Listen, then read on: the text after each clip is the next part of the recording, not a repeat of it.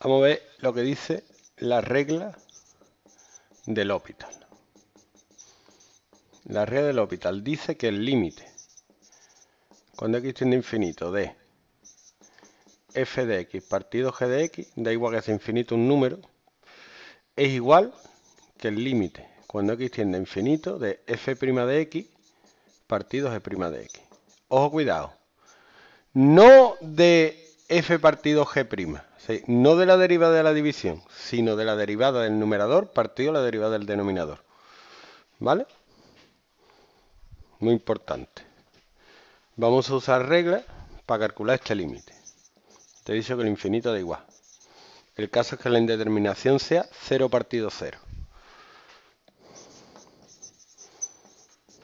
1 menos coseno de 2πx partido x menos 1 al cuadrado. Fíjate que si yo sustituyo el 1 aquí, me da 1 menos coseno de 2pi, que es 0, que es 1.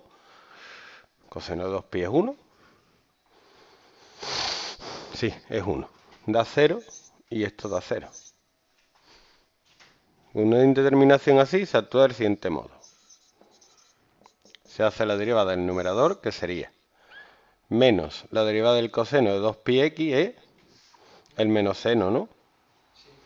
Sería más seno de 2πx por separado la derivada de lo de dentro, que es 2pi.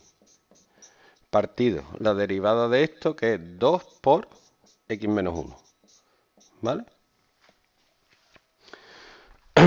¿Qué pasa? Que si yo hago esto otra vez me sale derivada de seno de 2pi, que es 0, y abajo me vuelve a quedar 0. Así que puedo aplicar el hospital todas las veces que me dé la gana.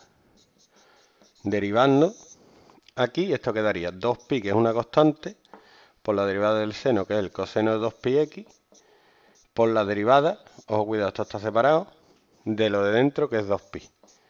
Partido la derivada de esto, que es 2. Y aquí he solucionado el problema. ¿Por qué? Porque arriba me queda 1, esto es 1, coseno de 2pi es 1, por 2pi por 2pi me queda 4pi cuadrado, y abajo me queda 2. O sea que el límite este es 2pi cuadrado. ¿Cómo te ha quedado? ¿Está enterado, no?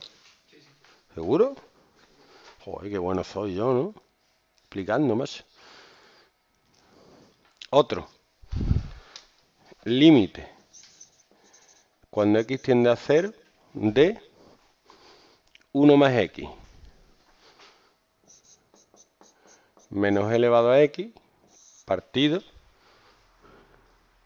seno cuadrado de x. Aquí tenemos el mismo problema.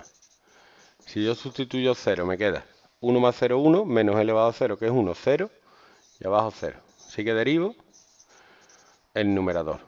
Y me queda 1 menos elevado a x. Y abajo la derivada del seno cuadrado es 2 por seno de x por coseno de x. Si te fijas, siempre te lo ponen para que lo derive dos veces. Porque arriba vuelve a quedar 0 y abajo seno de 0 es 0, me vuelve a quedar 0. Y ahora vuelvo a derivar el numerador y me queda menos elevado a x. ¿Dónde? Sí. Porque primero estoy derivando el cuadrado.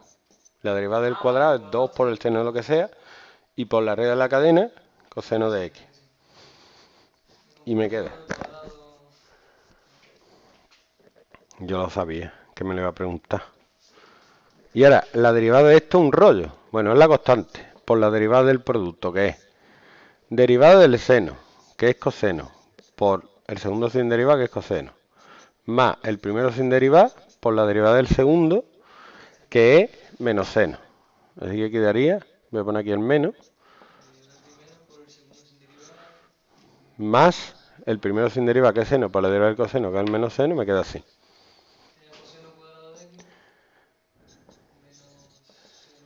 Me queda menos elevado a x partido 2 por coseno cuadrado de x menos seno cuadrado de x. Me queda elevado a 0 es 1, así que me queda menos 1 partido 2 por coseno de 0 es 1 menos seno de 0. Ole, ole, ole. Menos un medio.